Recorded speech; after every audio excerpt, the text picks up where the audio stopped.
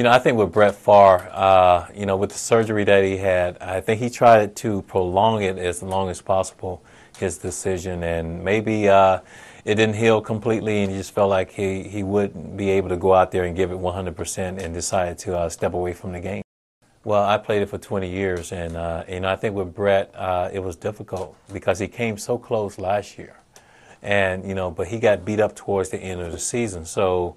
Uh, everybody, uh, they were speculating, uh, would he come back? Uh, you know, I think the head coach went to uh, Mississippi, you know, to talk to him to see if he was, you know, coming back to Minnesota. And I guess he decided that, hey, it's time. I have done enough. you know, I'm going to walk away.